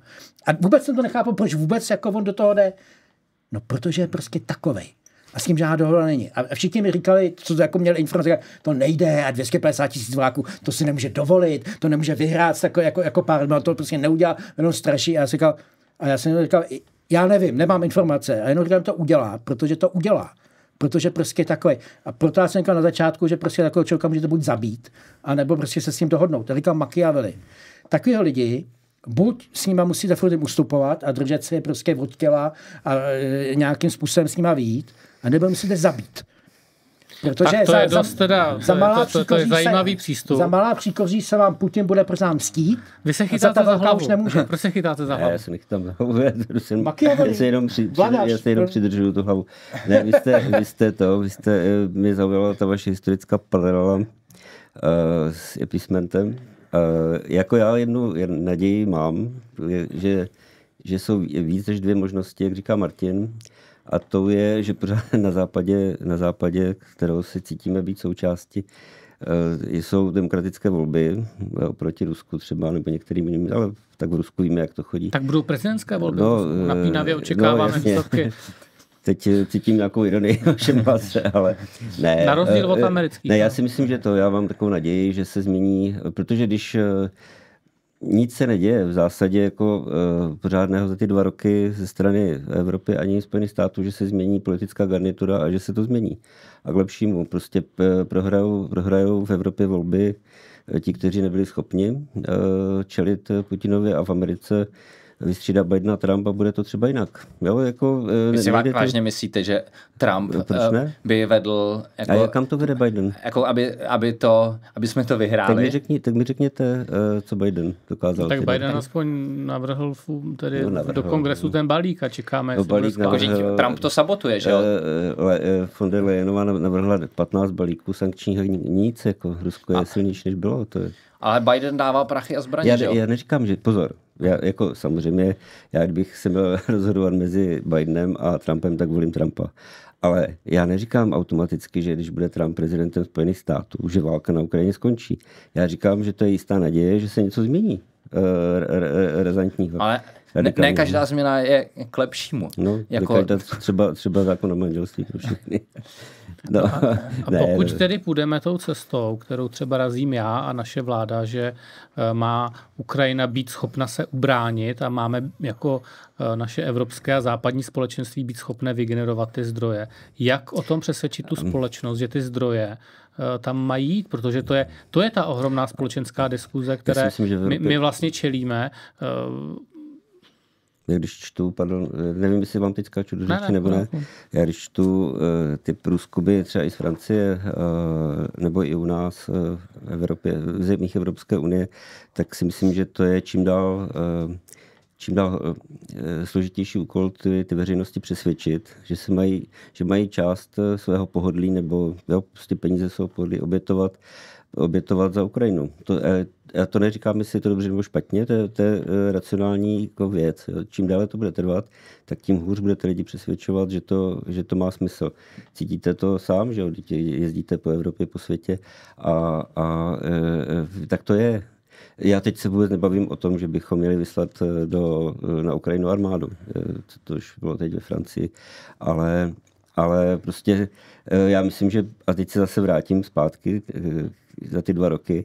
Já myslím, že Česká republika, eh, zahraniční politika, vaše politická reprezentace, ale i občané jako takový udělali eh, maximum možného. To eh, my jsme poskytli obrovské zdroje, zbraně, humanitární pomoc. Máme tady nejvíc uprchlíků ukrajinských na hlavu. Nám, jako my si nemáme co vyčítat, že děláme no a co málo. S tím, co s tím Babišem, který vytahuje takovou tu kartu ale Babiš, jako ale, proti generálovi? A to, bude vždycky, to je všude. A, Uh, Babiš, ale Babiš... A vždycky tam tak jako nahazuje tu udičku. Dobře, ale by u nás jsou za dva roky. Uh, ale samozřejmě, že to hraje. Všude se to hraje. Všude. V každé zemi v Evropské unii se najde nějaký babiš, který bude říkat, eh, stačilo, Ukrajina není, ten konflikt je mezi Ruskem a Ukrajinou. A Ty tam měl toho kohouta, že, jo, že, že nechce jíst to zrní. Ale přesvědčit, že vy teď jste se vrátil z Indie. Máme velkou kliku, že Indie nevychází s Čínou a tím pádem je schopna s námi aspoň nějak komunikovat. Je dobře, že jste tam byl, Česká republika to nezměnila, jezdí tam Britové, jezdí tam e, Evropská unie, e, jezdí tam Spojené státy, protože my nutně potřebujeme Indii jako spojence a celý Indo-Pacifik. Naprosto souhlasím. E, a tím pádem přežijeme i to, že mají nějaké slušné vztahy s Ruskem, ale nevychází s Čínou. A když to přejdu na tu rovinu té války na Ukrajině, tak tady jsme se o tom bavili. Pokud my neporazíme trpaslíka, jehož ekonomika na úrovni Itálie nebo možná menší, co to bude vzkaz pro Čínu? Pro ně to bude vzkaz, my si vezmeme Tajvan a nám v tom nezabráníte, protože my jsme desetkrát silnější než Rusko. A to je to, co se musí vysvětlovat, ale nejenom tady. To hlavně musí vysvětlovat američtí politici. Američané přece mají velký zájem na Tajvanu a měl by jim dojít, že Ukrajina, ano, v jednom mají pravdu, měli bychom se víc starat my Evropani, protože je to na našem zadním dvorku. Nicméně oni jsou globální supervelmoc a pokud padne Ukrajina, tak v té chvíli jim hrozí, že Čína půjde po Tajvanu. A pokud to bude tak, jako řekl Tajvan, když byl v Pekingu, my se o to nebudeme starat, to je věc Američanů. A Američané řeknou, my se o Ukrajinu, to je věc Evropy. To znamená, ten západ se rozloží. Tak v té chvíli prostě budeme v té souboji demokracií a autokracií slabší. My potřebujeme v tom souboji demokracii mít na své straně Indii. To máme částečně díky, díky té Číně, protože Indie je, být s velkými problémy, je to demokratická země. Ale pokud my tuto koalici neudržíme, tak budou dominovat ty dvě autokratické země a uvidíme, co udělá Indie. Má také zvláštního premiéra, který taky jako hodně, hodně dbáte na zájmy Indie. A e, samozřejmě, pokud on by viděl, že my prohráváme, co když změní názor? V této chvíli si myslí, že má smysl s námi jednat, ale pokud ví, že nejsme schopni ubrát Ukrajinu, Jo, to já, já, proto já jsem vlastně přišel k tomu, že Takže vlastně ne, nejracionálnější je uh, vlastně teďka ještě, celou planetu. ještě dokud, dokud je to veřejný mínění aspoň půl na půl, uh, tak zvolit tu vítěznou strategii mě dává mnohem větší smysl. Uh, a jsem hrozně rád za prezidenta Pavla, který, který rozjel tu akci munice a, a prostě je jako vlastně poslední šance to jako zvrátit na naší stranu, protože jinak to bohužel uh, pan Stoniš jako tady předestírá ten jako uh, smutný scénář, uh, že, že jinak uh, na tom budeme ještě hůř. Takže podle mě prostě uh, dává smysl maximálně pomoct Ukrajině, aby, aby tu válku vyhrála, protože je to v našem zájmu a ještě tím ušetříme peníze ve finále. Ale to problém Pardon, s Indií- americké veřejné mínění. Ne, S. Indií vedeme dialog, Indie bude postupovat v rámci indických zájmů a je to nejlidnatější země světa, takže má vlastní sebevědomí. Jako Česko můžeme v- určitě, a já na tom pracuju, pracovat v regionu střední Evropy, ale co je teda politická budoucnost střední Evropy? střední Evropy. Naše budoucnost závisí právě na tom globálním souboji, protože já na rozdíl od jiných, já jsem pro zachování V4, ale to je regionální uskupení pro hájení některých zájmů, ani ne všech v rámci Evropské unie, ale to není globální uskupení, které mohlo cokoliv změnit. Eh, Ani Evropská unie není v postavení, že by mohla cokoliv změnit, zvláště když upadá ekonomický význam. Když eh, já jsem pracoval pro Mirka Topolánka, Evropská unie byla největší ekonomikou světa, dneska je třetí. Takže první věc, kterou bychom... Jak jsme po Brexitu? Přišli, jo, přišli jsme o ty angličany. No jasně, ztráta, no, ale, ale i tak jako eh, ten vývoj za těch 15 let je, je daleko pomalejší. Ta Amerika nám, nám utíká. Takže eh, my bychom, střední Evropa je malá, že jo, ale my, my jsme se měli snažit, aby, aby eh, Ale ta válka je hodně blízko. ano, aby, aby, aby celý západ byl jednotný, aby získal spojence, aby prostě v, v rámci těch civilizací tam, kde můžeme, aby jsme získali spojence. Máme nějaké spojenectví eh, s Mercosurem, máme spojenectví s Austrálií, s Japonskem. Nutně potřebujeme nejen ekonomické, ale bezpečnostní partnerství s Indií, kterou se snaží teda jak Američané, Evropská unie, tak Britové vyjednat. Pokud se toto povede, tak já vidím tu budoucnost velice dobře. My to prostě vyhrajeme. Ale, ale závisí To na to... tobě, Honzo. Musíš ale- to s těma Indama Já na tom domluvit. pracuju. To nevyhrajeme sami. Snažím jako, se, snažím se nabrat nějaký ale eh, jo, jako to jeden malý kamínek jako, jako v té v lavině, která by to měla převážit, ale e, symboly jsou důležitý. Ha, naši- manželství pro všechny. Pardon. Ano, jsou důležitý. Jsou důležitý, akorát žádný symbol vidí ne. To, v tom já souhlasím. Já. E, ale e, ale e, pokud prohráme tuto válku a ono by se mohlo zdát, že vlastně balá bezvýznamná, je to jedno, jestli Rusko bude mít půlku Ukrajiny, jako, jako to, tak to bude eh, vzkaz eh, pro naše spojence, pro naše potenciální spojence a hlavně pro naše nepřátele, že končíme, že jsme slabí. Že No, nedokážeme hlavně- ubránit, ubránit Jo. ani to, co je naše. Eh, A eh, v tomhle z tom já mám eh, jako konzervativ skutečně imperiální pojetí. Demokracie, svoboda a právo musí mít ambici imperiálně ovládnout celou planetu, Ješkovi oči. protože pokud ne, no tak vyhrajou ty druhý. To tak To mě, prostě mně je. stačí ubránit tu Ukrajinu a prostě, aby to území, co Ne, si ne. samo řeklo, že chtějí být svobodný, tedy- aby bylo svobodný. Já vím, že to zní jako agresivně, ale když jsem se bavil, To zní hodně agresivně. bavil někde ve, ve Washingtonu s nějakýma lidma, lidma z Barmy a ještě se jim ptal, jestli pro ně není příliš agresivní naše pojetí svobody lidských práv. A jako, že ne, jako, že to byl, pravdě to byly dizidenti. Teda, jako, jo, Tak ale musíte každá taky, kultura- vycházet, musíte taky vycházet z toho, že ty hodnoty už univerzální jsou skrze chartu OSN a základní listinu a práv to a jsme svobod, psali my, že jo? ke které se mm, přihlásily ty země světa. Já nevím. Martin tady po, po, velmi často používá plurál, ale Já jako, jsem kulturní imperialista. Ne, je, já se tady nemusím oddistancovat už. je. No, se Česká na- republika versus Indie je to zajímavá vize. Jako já- My na to jako vláda pracujeme. Ale jako ještě než se dostaneme k tomu fotbalu, já bych to chtěl stočit zpátky Je- eh, k té střední Evropě, je- kde vnímám, že prostě naše země hraje z logiky věci významnou roli. Já, jako když jste se ptal, jak vidíme budoucnost střední Evropy, já to neumím vůbec, jako, já takhle nevím přemýšlet dokonce. Já, a, a to, to se mi může zdát, ta V4 z doby, z doby eh, Vyšehrad, Vyšehradské smlouvy a Václava Havla jako, jako smysluplný projekt, ale, ale prostě co je střední Evropa? Je to Polsko, eh, Německo, Rakousko, Maďarsko, Slovensko, Česká republika a já myslím, že když takhle začneme přemýšlet, tak eh, je, je ten hledání společného zájmu je, kromě teda té, té bezpečnosti, je, je těžké. Já, já bych, já pořád myslím na Českou republiku. A, a a myslím si, že nás eh, ohrožuje daleko víc věcí, než jenom, než jenom konflikt eh, Rusko-Ukrajina. To je prostě, že si, že si a teď, teď bychom se dostali asi, asi na, na časový, časového limitu, který tady eh, nemáme. Ale, ale ne, já si myslím, že nás ohrožuje, ohrožuje to, to, eh, kam Evropa směřuje, to říkal i Martin, eh, Evropská unie, jsme třetí ekonomikou světa a řítíme se někam, kde to, kde to ne, ne, nevypadá vůbec dobře. Eh, já jsem prostě, já jsem vyznávač kapitalismu, svobody a, a nás ničí, nás ničí evropské regulace, Green Deal, energie, které jsou drahé ne kvůli, ne kvůli Putinovi, ale kvůli naší hlouposti. Je lidi, fakt jako uvědomte si, že lidi... Třeba řeší. zase chceme zachránit planetu, aby no, se nepřehřálo. Dobře, eh, na, na tom se nezhodneme. Já si myslím, že tím, tím že budeme platit povolenky, povolenky uh, tak nebudeme, nezachráníme vůbec nic.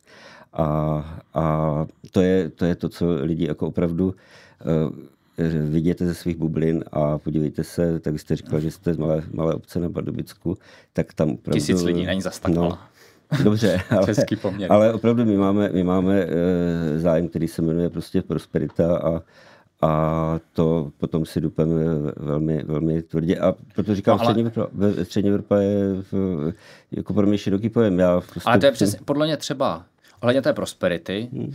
tak my, pro nás je základ ekonomiky automobilový průmysl.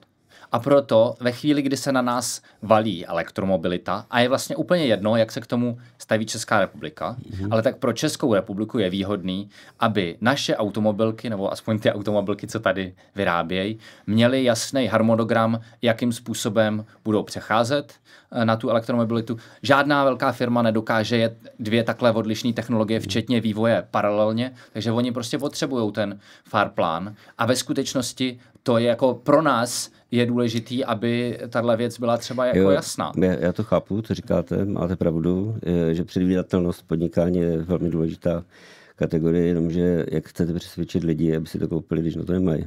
No tak já věřím, že za pár let budou ty elektroauta to eh, levnější, protože, protože jsou konstrukčně jednodušší. Ale tady nejde, Ale... pardon, eh, tady nejde jenom automobilový průmysl, my jsme průmyslová země průmyslová závislá energiích a e, to nejde jenom o auta. Na ty auta je samozřejmě navázaný další průmysl. Já to fakt nechci převádět teď na, na ekonomiku a na, na, na Green Deal a tady tyhle věci, ale e, je, je to pro mě, podle mě důležité a, a vede se to, vede se to, vede to špatným směrem. Podle mého. Tak a ta Čína v těch elektroautech už nás no, začíná jako válcovat. Jak chcete, jak Amerika proti tomu udělala je. Eh, ten Co? Eh, balíček hmm. zákonný, kdy, kdy vlastně hmm. udělali celní bariéry, tak aby se hmm. produkovaly americké elektromobily. Tak čínská auta, ale, ale to nic, nic to nevyřeší. Jako... Já si myslím, že to je komplexnější problém a hmm. vrátil bych to k Ukrajině. Prostě e, jsou některé civilizační modely a spíš civilizační a kulturní než ekonomický. No. Eh, a já to vidím, jak jsme se hádali, jestli střední Evropa ne, nebo, nebo nějaký širší. Jako, ty, dobře.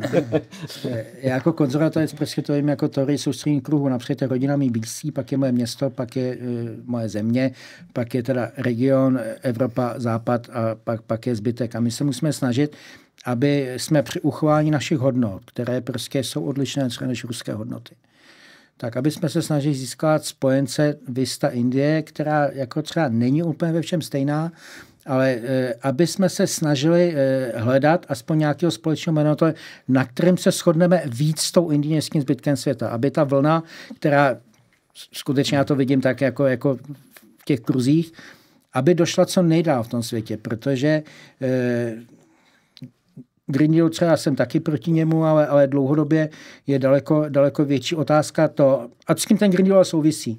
Jestli budeme mít eh, dostatek ekonomických síly, dostatek vůle, dostatek vojenské síly eh, a eh, dostatek schopností bránit právo, svobodu a lidský práva všude ve světě, aby jsme udrželi náš civilizační model. Já si myslím, že třeba Green náš oslabuje, ale stejně tak nás oslabují lidé, kteří prostě tvrdí, že, že tu svobodu nebudeme bránit. A teď se bavme že... o tom, jako, jako co z toho je horší, ale, ale a prostě... Green Deal je prostě fakt, je to vlastně za první nějaké rozhodnutí, co teda ta Unie přijala, že se rozhodla zkusit tu planetu zachránit, což podle mě správný cíl.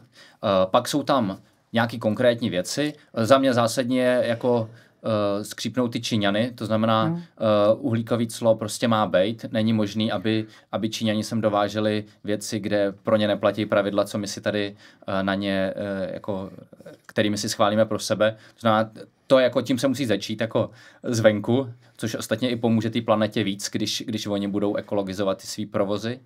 Ale, ale prostě jako tvářit se, že uh, že jako se na to vykašlem a nebudem tu planetu řešit, podle mě je strašně krátkozraký. Prostě přijde sem ta migrace, budou, budou ty průšvihy a můžeme se vždycky bavit o tom, jestli jsme zvolili nejefektivnější cestu, ale podle mě jako i předběžná opatrnost, což je zase konzervativní hodnota velí, aspoň to zkusit. Jo? A Uh, tady se zjevně neschodujeme. Ne, to, to je tík, to ale, není jako, ale, to ale jako prostě reakce. z mýho pohledu uh, izraelská budoucnosti Eh, když už je takovýhle trend, tak je lepší být na špici, než se tím nechat vláčet. A a využít to. To třeba je to, co, o co se pokusili Němci, akorát ten Putin jim do toho brutálním způsobem hodil vidle a oni místo toho, aby šli jako plnou no. parou proti, to uh, jinak. tak lavírujou. My jsme mu hráli tím Green Dealem. No. Já, už tu debatu, já už tu debatu posunu dál. Pro mě je teda jo. velmi poučné, že od Ukrajiny jsme se dostali poměrně rychle eh, tedy ke globální politice. To ještě chápu, ale skončili jsme u Green Dealu, skončili jsme u eh, ekonomiky a skončili jsme u toho, jak vlastně fungujeme jako Evropská unie. Já to já vás doplním. Já jsem přesvědčený o tom, že můžeme Rusko nebo prostě nedemokratické režimy porazit tím, že budeme silní. A to, co děláme v Evropě, ekonomicky nás oslabuje a nebudeme silní. Reagan porazil eh, říši zla, sovětský svaz porazil ekonomicky, ne vojensky. Němce mohl... taky. Ale tak potřebujeme se zbavit té závislosti na tom plynu od toho Putina. No tak to se nám nedaří. To ale, si uh, ale, ale Česku, se to, Česku, se, Česku se to podařilo. Uh, já už tu debatu, nebo jedno, uh, jednu větu a potom, potom ne, se posuneme dál. To, to, to řeknu. Kdyby, kdyby, Reagan, kdyby Reagan zavedl Green Deal, tak dneska Sovětský svaz existuje. Eh, my jsme si na závěr přichystali téma, které je možná trošku odlehčenější, ale eh, ve zbývajícím čase, což je zhruba 15 minut, eh, bych rád probral vlastně téma politiky a sportu a jak to, jak to spolu souvisí. Mikuláši, ty seš fanoušek Slávie a poměrně často komentuješ dění na Slávii. Výborně. Tak. Máme tady pražské, pražské derby 2S jak hodnotíš tu situaci, která se tam odehrá teďka s tím zápasem se Slovanem? Jo, takže jo, se stalo poměrně nedávno, a, že Slávě měla domluvený vlastně velký přátelák se Slovanem Bratislava, měla to být generálka na novou sezónu a Slovan předtím vyjel na soustředění někam do arabského světa, tuším, a tam se potkali s nějakým ruským klubem a, a odehráli tam přátelák. Ještě to bylo takový uh, polozábavný v tom, že že Slovan se hodně snažil, aby se o tom nevědělo, že s nima hrajou, ale ten uh, ruský klub to schválně jako streamoval přes Facebook, uh, aby, to, aby to prasklo, aby se to vědělo, že tady jako svornost západní polevuje a že už ta izolace těch ruských fotbalových klubů není taková. A v reakci na tohle uh, Slávy vlastně zrušila ten přátelák, kde Slovan úplně jako hystericky zareagoval, ještě, ještě řekli se Zlatýma Moravcema, můžeme hrát jako kdy chceme, ale teďka jsme měli tady takového soupeře, tak jsme se s ním domluvili. A Slávě teda pozvala ty Zlatý Moravce, udělal z toho jako velký charitativní show. A, a mě to bylo vlastně hrozně sympatický, že ten klub jako dbá na to svoje dobrý jméno. Myslím si, že to vlastně patří i k tomu sportu a že, že ukazuje, že Eh, že prostě potřebujeme těch potřebujem, eh, jako ty Rusáky porazit. A současně eh, ještě tam byl ten aspekt, že ve Slávii hráli, ještě tehdy nebo působili částečně dva ukrajinský fotbalisti a ten prostě prezident klubu, kterého já historicky jsem hodnotil jako dost negativně, tak, tak prostě řekl, já jsem bych se nemohl těm klukům podívat do očí. Jo? A, a prostě udělali to velký gesto a byla o to veliká debata právě o té politice ve sportu a já jsem za tohle gesto rád a, a myslím si, že to bylo správné rozhodnutí. Zajímavé je, že najednou je fosilní oligarcha zelenému liberálu je dobrý, ale já teda nevím, kdo vlastní jako, eh, jako ten za, mě, Slovan. za mě no. lepší než Číňani, takže to... Jo, jas, no, no, jasně. takže to je takový jako... Za mě ne, protože jako Spartan jsem jim to přál, ať mají Číňané, se můžu smát, ne? V pohodě. Jo, teď máme vlastně... Máme oba fosilního Teď oligarchu. máme vždycky derby fosilních oligarchů. Takže já nevím, kdo vlastní ten Slovan, jo, ale... Tam, oni byli tam lidi jako hodně napojení na Fica a na ty jako Aha, proruský. eh, což je proruský- zvláštní, protože se eh, Bratislava ta v rámci Slovenska liberální město. Jo, fanoušci to nesmí vlastně hůř než fanoušci to, no, eh, takže si říkám, že to bylo vlastně zvláštní pro ně. Eh, Tohle úrovni klubu a tam si myslím, že mají prostě rozhodnout ty kluby. Tam si myslím, že ani nikdo by se jim do toho, do toho eh, míchat neměl. Možná se posuneme dál, jak to má vypadat na té eh, globální úrovni a prostě na té globální úrovni sport je politika. Nemají se dávat olympiády Číně, nemají se dávat olympiády Rusku, nemají se dávat mistrovství světa do, do arabských zemí, eh, kde to staví otroci. Prostě já jsem o tomhle A na přesvědčený. globální úrovni v těch federacích už dneska No, ty západní země nemají tu většinu. No. To znamená, kdo o tom rozhoduje? Země, které mají peníze, vyjezdíte do OSN, jak to tam vypadá. tak Stejně, blbě. No. říkáte nemají, tak popisuju zpátky, popisuju zpátky No, ale realitu. jsme zpátky u toho, e, jsme v menšině, jsme v početě menšině, když je jeden hlas, jedna země, tak jsme prostě v menšině a jediný způsob, jak jsme mohli vynucovat naše pojetí civilizace lidských práv, e, vůbec pojetí práva pro všechny a e, svobod, tak bylo to, že ten západ byl mnohonásobně silnější než ostatní. No, jako, jakmile ztrácíme tuto sílu, No tak se potom projeví režimy, které mají jiný názor a protože mají početní přehled, tak nás válcují v OSN, válcují nás i v tom sportu a jsme zpátky u toho. Eh, Když už jste takový, že eh, chcete být mravně lepší než ostatní, a to si myslím, že chceme, takhle musí být větší klacek, protože eh, bohužel takhle to chodí a celý vývoj lidské civilizace je, je na tom založený. Vždycky vítězil ten, eh, kdo měl větší klacek. To, že posledních 200 let vítězil ten, kdo zároveň byl morálnější než ostatní civilizace, byla možná schoda náhod, já nevím. Byl skutečně morálnější. No, Ano, morálně, západ je, že- západ je nejúžasnější civilizace, která tady byla, hej. která těží z nejlepších tradic, eh, ať je to Tóra, ať je to antická civilizace, ať je to římské právo, křesťanství. Eh, To nikdo jiný nestvořil. Indové a Číňani možná udělali úžasné věci ekonomické, z hlediska umění. A nebo ale to z hlediska- neprosadil Ale z hlediska práva lidských práv to byla naše civilizace. světa. Ale posledních 200 let, pardon, eh, posledních 200 let jsme vítězili, protože jsme byli bohatší. No Teď ano, jako teď ano. Teď podívejte to říkám, se, že to možná podívejte se na... vždycky. Hm, to spolu souvisí, ale, ale kapitalismus je morální mimochodem, A- ale podívejte se na, na příběh eh, eh, klubu, fotbalového klubu Paris Saint-Germain, který patří Katařanům, katarským prostě šejkům.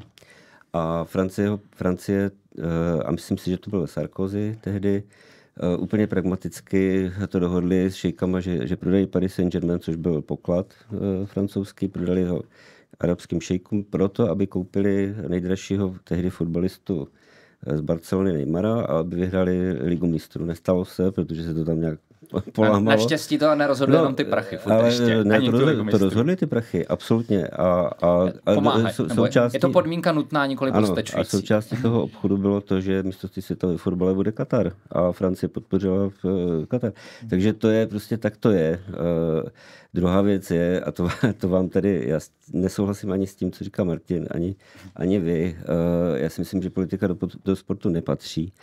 A vůbec, eh, že to, co my tady předvádíme v Čechách speciálně, že jsme papeštější než papež a přijde mi úplně směšné, když když zatýkáme a, a deportujeme eh, tenistky na, na, na letišti, které jsme pozvali na tenisový turnaj, eh, nebo, nebo nebo šikanujeme, v úvozovkách šikanujeme hokejový klub Kladno, protože tam hrál brankář, který hrál v Kazachstánu KHL.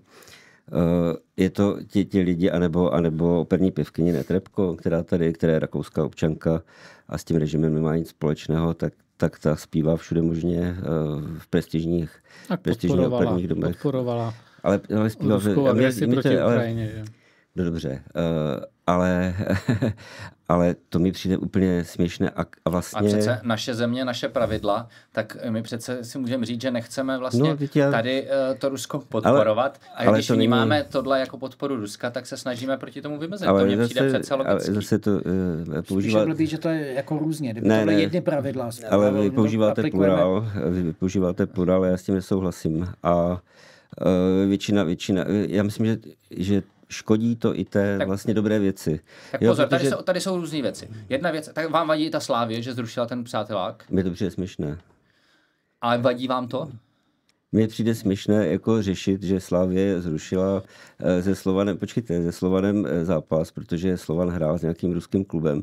Když Slavě je čínský, byl ještě, já nevím, jestli v tu chvíli byl čínský klub, jo, ne, to je fakt, jako, neblázněte. A tak To Čína ty- pořád nevede tu to imperiální nemohl- agresi proti to zbytku světa. To byste na něj, eh, když, když majitele Slávě eh, řídila, řídil ústřední výbor komunistické strany Číny, který porušuje úplně eh, lidská práva miliardy lidí, tak přece nemůžete chodit na Slávy v tu chvíli. za prvý prostě Čína tu válku nezačala a, a my, že ho přece chceme, aby, aby i ta Čína se držela jakoby zpátky.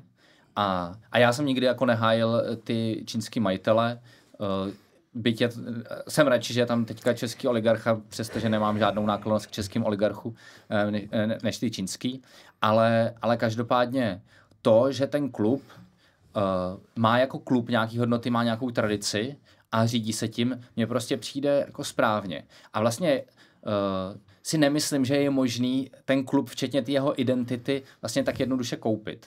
Uh, ty Číňani vlastně tehdy prošli primárně kvůli tomu, že ty jako uh, předchozí majitelé byli jako určitě jako uh, šedivější jako česká garnitura, eh, takže ty, eh, takže ty fanoušci to brali jako úlevu a eh, což samozřejmě eh, byl úplně jiný příběh. Nemusíte se ale, hájit, já, se, já to trošku ne, ne, ale, ale prostě uh, vemte si, že máte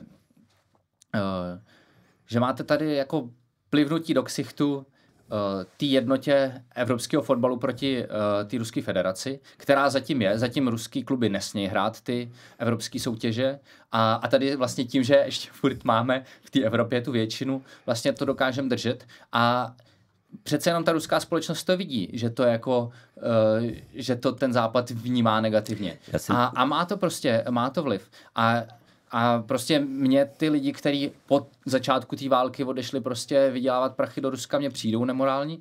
A myslím si, že že ten klub má právo se ozvat a, a je to naprosto v pořádku. A, a, a za mě to bylo úplně v souladu já s to, hodnotama. je- pozor, já to A myslím že to je dobře. Já to nespochybnuju, mi to přijde směšné a dokonce si myslím, že to, jak to přeháníme tady, eh, jak to opravdu přeháníme s těmi tenistkami, s Anou Netrebko a tak dále, eh, to se, což se jinde v Evropě neděje, tak to škodí vlastně té věci, protože ve většině, Já většina... myslím, že u nás ty rusáci vadějí víc než, než na západě. Ne, to že, to, že tady nepustíme tenistku, kterou, která má normální pozvání na turnaj, dvě tenistky, že tady, že tady nemůže zpívat eh, rakouská občanka Anna Netrebko, která se kdysi Já bych sete- to uvedl na setkala- pravou mílu. Tenistka nemohla vstoupit, protože tehdy platilo usnesení vlády, které to No, nedovolovalo. usnesení vlády, no. Eh, Ale to je chyba, podle pokud mě by je to to- chyba. Je to Takže, chyba, takže by se měli dělat nějaký extra bursty Ale ne extra pro bursty. rusky, jenom protože jsou bohatý a teď- můžou hrát tenis. Ale dě, kam, kam ta tenistka jela potom? Jela do Spojených států hrát turnaje. No. Jela A do, dneska, do, do Německa, dneska do ta situace už je, dneska ta situace už Je se proměnila, to znamená, i ta Já naše vláda na to zareagovala a Netrebko zrušila koncert na základě mediálního tlaku. Takže No, jasně. Mně se tam míchá jako víc věcí. Jo. Proto já jsem říkal tu globální rovinu. Za prvý, eh, to, to, co mě vadí, jako že ty pravidla nejsou jednotní všude a stejně, aby byly předpověditelné, aby ty sportovci věděli, co nemůžou, aby věděli, proč je někam nepustí. To je první. Proto já jsem musel olympiád, myslím si, takový. Ale země jsou různý, že jo? No jasně, ale co se týká těch klubů, no tak jako to je věc Slavě, že s nima nehraje, stejně jako je věc fanoušků Kladna, že tam zešikanovali svého šéfa. To, to je prostě jejich věc. To, já bych jim do toho nemluvil. Eh, Mohli tam toho Rusáka, ne, toho Slováka, co hrá v Rusku, hrát, mohli ho tam nechat a taky ho mohli prostě jako vyšikanovat pryč. Je to její věc. To je On prostě... hrál, on hrál v Kazachstánu a když No. vypukl konflikt na Ukrajině, tak se účastnil jako první Ne, charitativního já jenom říkám, že to je eh, její věc. To je prostě věc jejich na pocitu. podporu obětí na Ukrajině. A e, já, nebo už vůbec ne stát, bychom se do toho neměli míchat. A pokud jako něco se řeší na nějaký jakoby úrovni státu nebo nějaký mezinárodní tak hlavně, ať jsou ty pravidla prostě jednoznačný. Já jsem skutečně proto, aby valčící stát byl vyřazen ze všech soutěží. Jednoznačně, všude stejně a transparentně. E, co se týká vystoupení tenistek e, nebo, nebo nějaký operní divy, je podle mě věc, která se řešit na té úrovni. To si měla řešit Praha. Praha to nějakým způsobem zřešila. Jestli to řešila dobře nebo špatně, je to věc té Prahy. Prostě ona měla jet jak, jak, jako, jako někam, prostě a stát by do toho neměl, do toho neměl taky, že nemluvil. Stejně tak jsou to prostě ty kluby. Jo. E, pravidla jsou pravidla. Někomu prostě vadějí, ale hlavně to, já jako konzervativec hlavně chci, aby ty pravidla platily vždycky a pro všechny. A to úplně neplatí, v tom je opravdu zmatek. Jo. To, to zase jako tomu já rozumím. A pak to působí směšně, že někdo, my ho vyhodíme a on pak je do Ameriky, to fakt vypadá divně. To je pravda. Dobrý. Tak jsou tam různé vlády, že jo? Tak... No. Tak, tak, tak pozor, jako v, v NHL hrají, hrají desítky ruských hokejistů a nemůžete říct o Americe, že by, že by nebojovala s Putinem. Jo. To, eh, a, a Dominik Hašek, Dominik Hašek, který chce zabránit nějakému zápasu NHL, kde hraje jeden nebo dva Rusové, kteří mají přijet do Prahy, mi to přijde fakt směšný. Jo. To je jako, a no, myslím a... si, že to škodí i celé té věci. No, ale podle mě jako ta Ale snaha... potom Dominik Hašek taky v NHL se zúčastnil.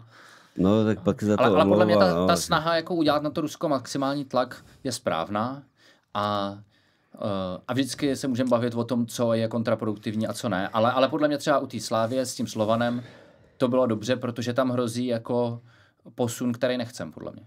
Podle mě, podle mě je správně, že nenecháme ty ruský oligarchy si tady dělat marketing, že nenecháme ten ruský režim, který vlastně už ovládá celý, jako všechny ty bohatý kluby.